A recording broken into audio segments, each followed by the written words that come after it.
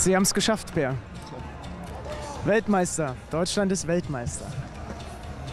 2023. Ich habe gerade, ich habe, Ich finde den Zusatz im Basketball noch so bizarr einfach.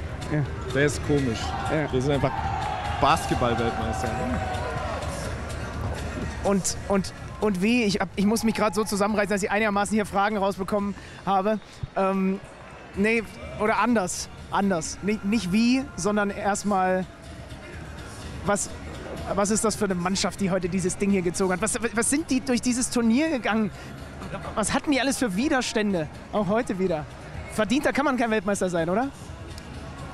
Nein, man kann nicht verdient, verdienter Weltmeister sein. Ich, also es hat ja jetzt auch irgendwie so ein bisschen was Albernes hier zu stehen. Wir, wir erzählen jetzt irgendwas Ja, ja. daher. Wir haben jetzt schon Dennis gehört. Wir haben so tolle Stimmen irgendwie Ja, ja. eingefangen. Ähm, ja, also ich würde jetzt mal was reinwerfen. Äh, Ich habe gestern ein Zitat gehört, das hat mir sehr gut gefallen, äh, von einem, von einem Menschen, äh, der auch mit dem Erfolg hier zu tun hat, der sicherlich den Magenta-Zuschauern in den letzten Wochen ans Herz gewachsen ist mit seinen hu- humorvollen und spritzigen Interviews. Klaus Pervers, ähm, der, der wohl gestern beim Tisch gesagt hat, ich scheiße auf die Medaille, die kann ich mir auch beim Speed holen. mir geht es tatsächlich nur darum, dass wir zwölf geile Jungs haben und die wirklich an was Großes glauben und ich will, dass die das umgesetzt kriegen. Und das, da ist, da ist wirklich so viel dran. Guck mal, wir sind jetzt Weltmeister, jetzt, ist, jetzt kann man, jetzt ist auch Zeit für pathetische Aussagen, für die ich mich morgen schäme. Aber so im Großen und Ganzen, ich bin ja jemand, der sehr viel so Profisport verfolgt, äh, der das selber betrieben hat. Es gibt es schon ein Bedürfnis, äh, so, es geht so viel um Geld und es wird alles viel komplizierter und man, es wird immer fragwürdiger, wo das Geld denn herkommt und die, die Schere wird immer, es wird immer, fühlt sich alles immer perverser an. So. Da ist schon ein Bedürfnis in mir persönlich nach äh, was uneingeschränkt Echtem, was nach uneingeschränkt sportlich schön einer schönen Geschichte. Und diese Mannschaft ist einfach, das ist, also das geht ja, die Geschichte geht letztes Jahr los.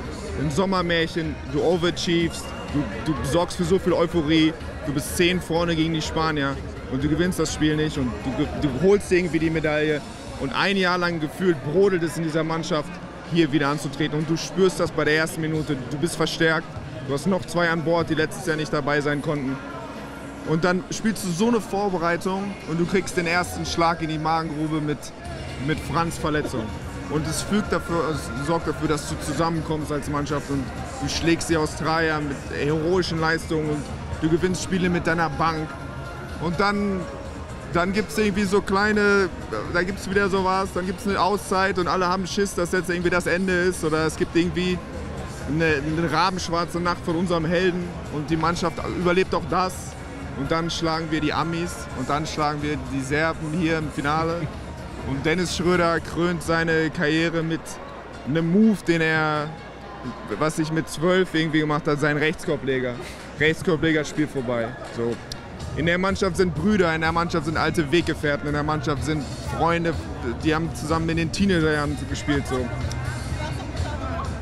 Da, so, das ist, das ist wichtig, ab und zu immer mal wieder sowas auch zu erleben. Sportromantik. Ja, das, das fehlt hier und da. Joe Vogtmann hat gerade gesagt, er hatte zu keinem Zeitpunkt das Gefühl, dass sie das Spiel verlieren können. Du, du, du auch? Naja gut, also äh, ich muss zugeben, bei Guduric Dreier ganz nackt aus der Ecke bei drei tief und er hat ihn sehr entspannt, er hat ihn nicht gestresst geworfen. Ähm, dann hätte ich nicht unbedingt, das hätte ich, das, das Szenario hätte ich mir jetzt nicht gewünscht.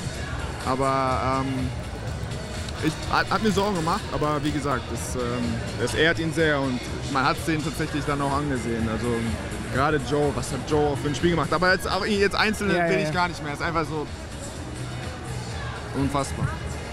Unfassbare Okinawa Manila Experience. Und jetzt dürfen die Jungs hier in Manila abreißen und eine hoffentlich, aber ziemlich sicher eine weltmeisterwürdige Party hinlegen. Da gibt es den einen oder anderen im Team, der das hinkriegt. Puh. Das hat Spaß gemacht. Das, äh, Vielen Dank. Wollen wir uns bei unseren Arbeitgebern bedanken. Aber es war ja nicht so einfach, das hier auf die Beine zu stellen, glaube ich. Ja, Macht man das, das- Oder ist das schlechter Stil? Das können wir, wir, jetzt, es ist als Weltmeister übertragener Sender. dass äh, die, dieses tolle Team hier Ja. dabei sein durfte. Das war eine große Erfahrung für uns alle, glaube ich. Ja. Mehr kann ich dazu nicht sagen. Vom gesamten Team herzlichste Grüße hier aus Manila. Tschüss.